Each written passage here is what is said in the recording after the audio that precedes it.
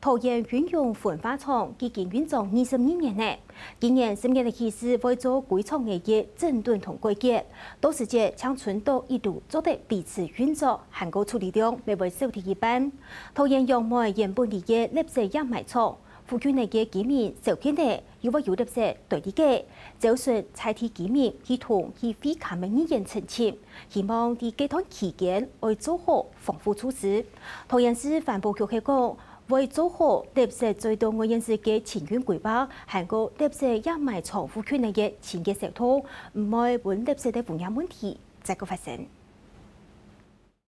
假日要在，大家。唐岛深夜运用焚化厂爱田一路维修，喺土用煤气垃圾掩埋场附近的业居民，有小片呢拖延其他企嘅垃圾，因这无法土停停引路焚化处理，要待多嘅，造成空气粗胖胖嘅同环境污染。就算同来会看嘅意见澄清，希望环保局拖停路维修期间做好规划，好好处理垃圾。同一生发到两因哦，是在动球，太臭了。所以希望团团结应该要纳出一家具体的方式，处理下啲垃圾原因啊。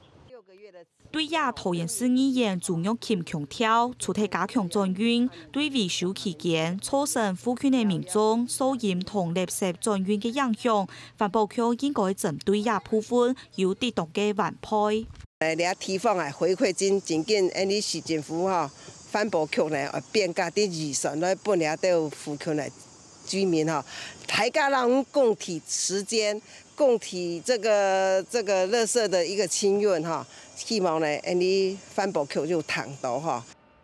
桃园市环保局讲，考量运用焚化厂已经运转为二十二年了，沙皮爱做大规模嘅维修，按算头今年十月到一百二十三年六月嘅来做，主要针对路床同空污防治沙皮亚条来进行同加强。维修期间，垃圾会由省职能中心同垃圾企业处理合作，来听处理量能，让民众安心。